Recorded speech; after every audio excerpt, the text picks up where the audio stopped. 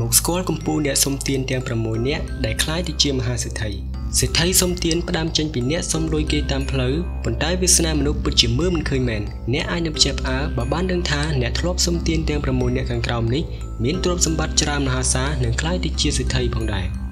ទី1លោករងហ្វេងផ្ដាំចេញពីអ្នកសុំលុយគេតាមផ្លូវដីតាមផ្លូវរងហ្វេងបានជួបនឹងម្ចាស់ហាងមីដែលចិត្តល្អឲ្យគាត់ធ្វើការរហូតរងហ្វេងបានคล้ายទៅជាសេដ្ឋីទី2 លោក Simon Ring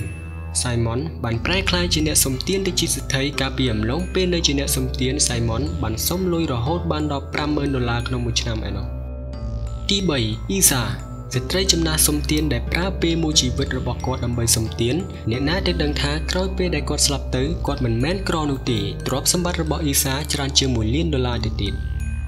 ទី4 Ted William ជាអ្នកសំទានប៉ុន្តែសំណាងគាត់មកដល់នៅពេលដែលអ្នកកាសែតម្នាក់មើលឃើញពីសមត្ថភាពច្រៀងរបស់គាត់ William ក៏ក្លាយទៅជាអ្នកចម្រៀងដ៏មានប្រជាប្រិយភាពនិងមានទ្រព្យសម្បត្តិហូរហៀទី5លោក Bharat Chen អ្នកសុំទានមានជាងគេនៅឥណ្ឌាសុំរហូតមានលុយសាងសង់អាផាតមិននិងជួឲ្យអ្នកដទៃស្នាក់នៅ